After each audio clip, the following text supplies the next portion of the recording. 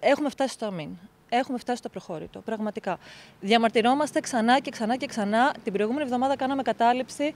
Ε, ε, ε δεν μπορούμε πια να αντέξουμε αυτή την κατάσταση. Στα όρια τους έχουν φτάσει γονείς και εκπαιδευτικοί του Δημοτικού Σχολείου Κολυμβαρίου, καλώντας τη Διευθύντρια Πρωτοβάθμιας Εκπαίδευσης Χανίων, Πόβη Ψαρουδάκη, να πράξει τα δέοντα ώστε να καλυφθούν οι κενές θέσεις. Δευτέρα τάξη του Δημοτικού του Κολυμβαρίου υπάρχουν 26 παιδιά. Δύο παιδιά μέσα ε, χρήζουν παράλληλης στήριξης.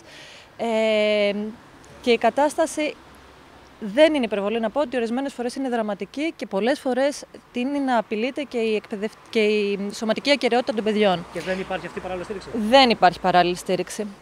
Ε, η τρίτη δημοτικού, για την οποία επίσης διαμαρτυρόμαστε, έχει 25 παιδιά. Έχει μέσα ένα παιδί που χρήζει σχολικού νοσηλευτή. Ε, ούτε και εκεί έχει έρθει ο σχολικός νοσηλευτής, ούτε και εκεί έχουν χωριστεί τα τμήματα. Ε, και επίσης δεν μπορεί να γίνει μάθημα. Και ειδικά για εμάς, ε, γονείς της Τρίτης, είναι η τρίτη χρονιά που αντιμετωπίζουμε το ίδιο θέμα και είμαστε στην αναμονή κάθε χρόνο. Πέρυσι έφτασε 1η Δεκέμβρη για να έρθει ο δάσκαλος που θα αναλάβει την τάξη μας. Το Δημοτικό Σχολείο Κολυμβαρίου δεν είναι το μόνο σχολείο με ελλείψεις. Εάν και τα σχολεία έχουν ανοίξει εδώ και δύο μήνες, υπάρχουν ακόμη κενά σε εκπαιδευτικούς. Τα κενά αυτά αφορούν σχεδόν κάθε ειδικότητα. Αυτή τη στιγμή απουσιάζουν από τα σχολεία μας πάνω από 10 δάσκαλοι.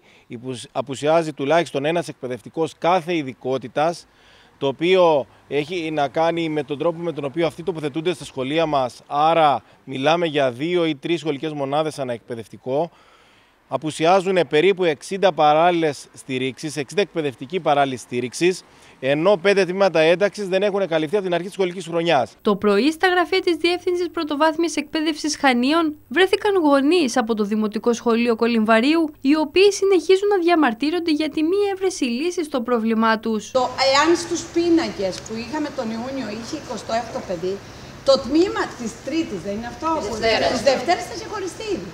Το πρόβλημα δηλαδή βλέπουμε ότι μας αντιμετωπίζουν σαν αριθμούς και δεν λύνεται. Έχουμε ζητήσει τα πάντα, έχουμε φτάσει πια στο τέρμα. Οι γονείς είναι μαζί μας, τους ευχαριστούμε για αυτό.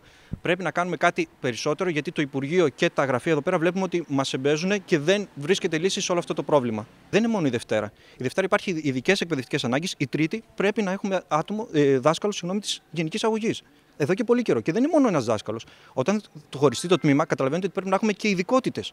Δηλαδή, από το έναν εκπαιδευτικό που θα φύγει όταν θα λυθεί το τμήμα, θα δημιουργηθούν και άλλα κενά. Τα οποία ούτε και αυτά έχουμε πάρει απάντηση. Γονείς και εκπαιδευτικοί τόνισαν πως εάν δεν δοθεί λύση, θα συνεχίσουν τις κινητοποιήσεις τους.